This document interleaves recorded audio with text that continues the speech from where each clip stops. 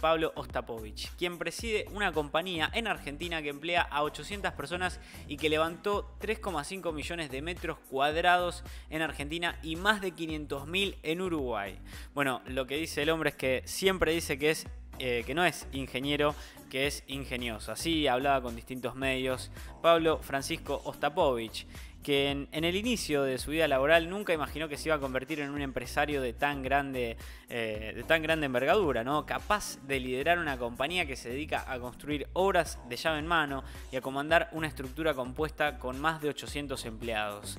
Bueno, desde las oficinas ubicadas en el kilómetro 40 y medio del ramal Escobar de la ruta panamericana, cuando el ritmo laboral se lo permite, suele recorrer su historia personal y a veces hasta le parece que no pasó lo que vivió. Bueno, no es común que una persona de ser un trabajador de la construcción que se inició a una temprana edad por el impulso de un tío suyo, con los años pase a liderar una compañía que construye naves industriales y de retail en mano, además de otras operaciones vinculadas con el segmento en nuestro país y Uruguay, por supuesto. Bueno, es el director de Ormetal que dio sus primeros pasos en 2004, al poco tiempo de salir de la Argentina de la crisis del 2001. Pertenece al grupo Ostapovich, que lleva más de 35 años en el ámbito de la construcción. Bueno, lo que decía es que se especializan en la fabricación de estructuras metálicas y pisos industriales para la construcción de obras logísticas, industriales, agroindustriales y de retail.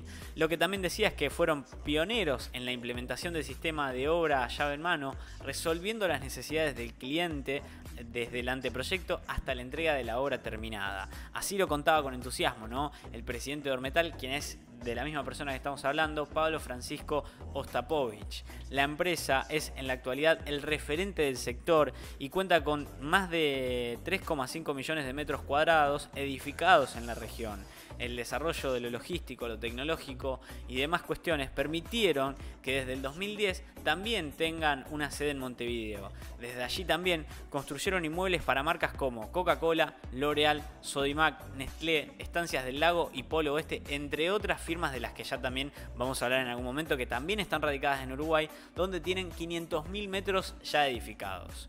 Bueno, Vamos a hablar un poco de los números de esta empresa que son súper interesantes porque en el último año la empresa facturó cerca de 4 mil millones de dólares y decían que este año eh, querían cerrar con un incremento del 40%. Afortunadamente están con varios proyectos al mismo tiempo y aún en pandemia se pudo seguir creciendo. Así hablaba Pablo, ¿no?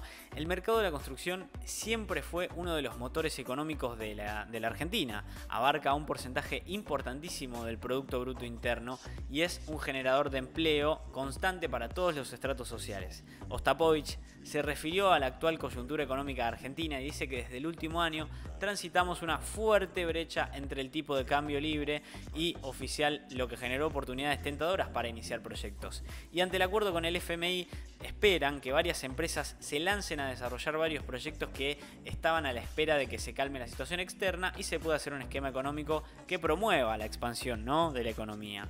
El hoy empresario argumentó que hay mucho crecimiento y que hay oportunidades para la fabricación nacional porque hay mucha industria argentina que está reemplazando los productos importados. Bueno, si se habla de desarrollo, de innovación edilicia y en el ámbito industrial, actualmente esta compañía tiene 47 obras en construcción, de las cuales 16 están siendo edificadas en la Plaza Industrial Escobar y la Plaza Industrial Pilar.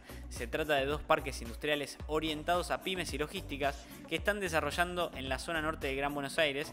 Entre ambos, lo que decía Ostapovich es que totalizan más de 300 hectáreas en acción, donde se van a estar instalando más de 250 empresas en los próximos años.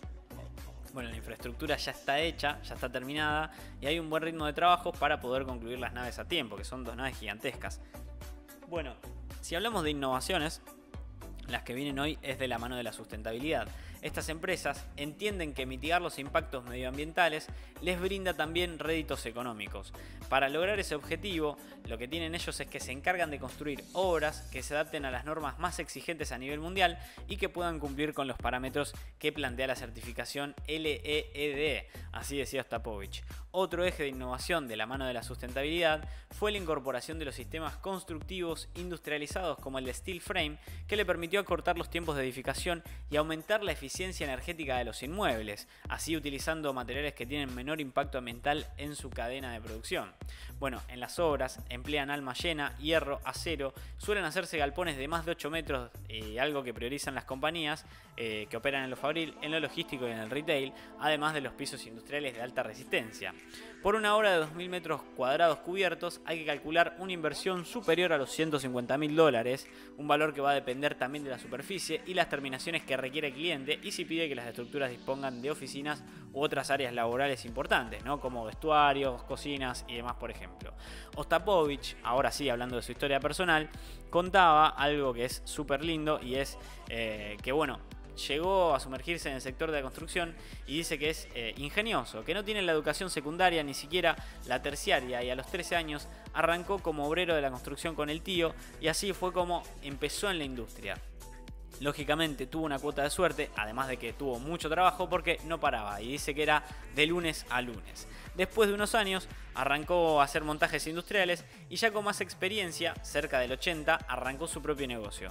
Dice que compró un lotecito chiquitito cerca de la Panamericana, donde hoy funciona la comercial CMP, una de las empresas emblemas del grupo Abrir. Y bueno, fue un desafío abrir esa empresa porque siempre tuvo un espíritu ambicioso, aunque dice que ni en sus sueños más optimistas hubiese querido llegar a donde está hoy, ¿no? Bueno, recuerda que contrató a un obrero, después a 5, después a 10 y así fue creciendo hasta que tiene 800 hoy.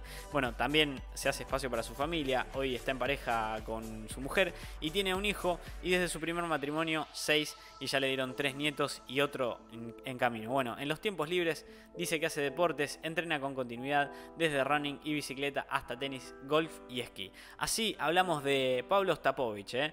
que arrancó como albañil y que hoy lidera una multinacional que edifica obras industriales y de retail.